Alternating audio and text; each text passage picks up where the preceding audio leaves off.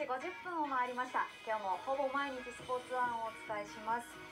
こちら今週金曜日に女子ゴルフのデサントレディス東海クラシックが開幕します。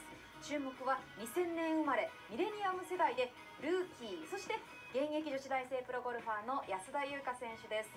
アマチュア時代に輝かしい成績を残してきた安田選手ですがプロに入ってからは思わぬ苦戦が続いています。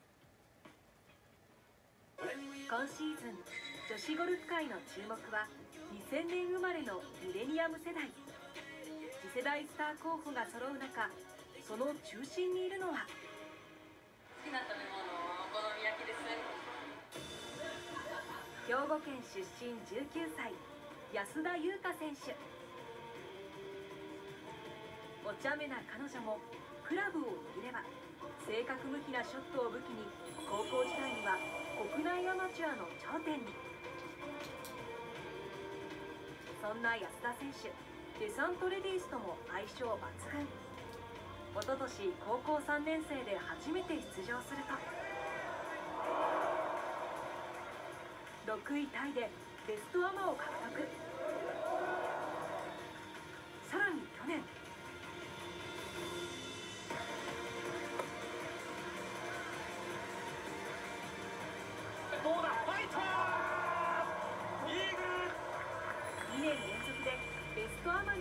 きました。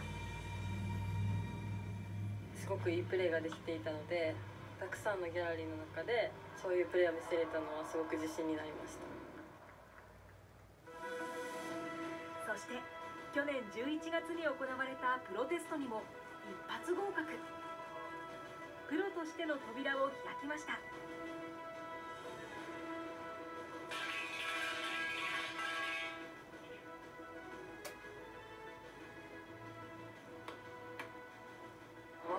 感は80%ぐらいですプロとして初めての年なんですけど優勝したいなっていうのがあります。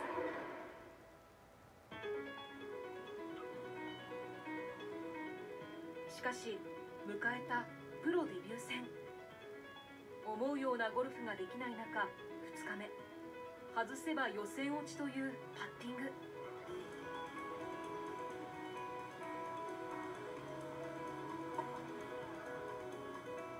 カットラインギリギリで予選通過。さらに続く NEC 軽井沢ではまさかの予選落ち。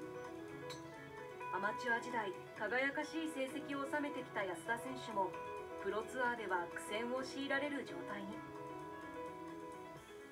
それでもこの経験がある意識を芽生えさせました。やっぱり仕事なので予選落ちしたら収入がないので大変な世界だなとより一打がの重みが大切に感じるようになりました。改めて痛感したプロの厳しさを胸にプロゴルファー安田優花が思い出の場所に帰ってきます。苦手なコースではないのでアマチュアの時よりいい成績で終わるのと自信を持ってショットも打つので優勝争いもしたいなって思います。いやあの将棋の藤井二冠じゃないですけれども、はい。若い世代がはい。次の時代をこう作ってってくれるそれを見るのが楽しみですね。そうですよね。そう思って注目しているねファンの皆さんも多いでしょうね。あの安田選手あの渋野選手が認めるほどの選手なのでこの大会で頑張ってもらえると思いますそして今大会は無観客で行われます。試合の模様はご覧の日程で東海テレビで放送しますのでぜひお楽しみください。